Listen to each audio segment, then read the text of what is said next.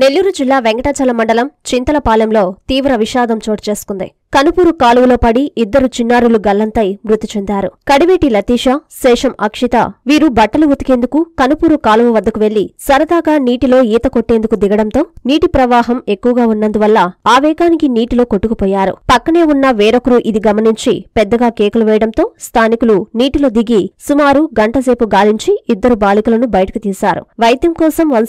ద్వారా స్థానిక ప్రభుత్వ హాస్పిటల్కి తరలించారు డాక్టర్ పరీక్షించి వారు అప్పటికే మృతి చెందినట్లు నిర్ధారించారు దీంతో హాస్పిటల్ వద్ద తీవ్ర విషాద ఛాయలు అలుముకున్నాయి చిన్నారులు మృతి చెందడంతో కుటుంబ సభ్యులు బంధువులు కన్నీరు మున్నీరుగా విలపించారు విషయం తెలుసుకున్న సిఐ గంగాధర్ ఘటనా స్థలానికి చేరుకుని పరిశీలించారు ఇద్దరు పిల్లలు ప్రమాదవశాత్తు నీటిలో మునిగి చనిపోవడం చాలా బాధాకరమని ఆవేదన వ్యక్తం చేశారు కనుపూరు కాలువకు రెండో పంట కోసం నీటిని విడుదల చేసి ఉన్నారని చిన్నపిల్లలు ఎవరూ కనుపూరు కాలువ వైపు వెళ్లరాదని తల్లిదండ్రులకు విజ్ఞప్తి చేశారు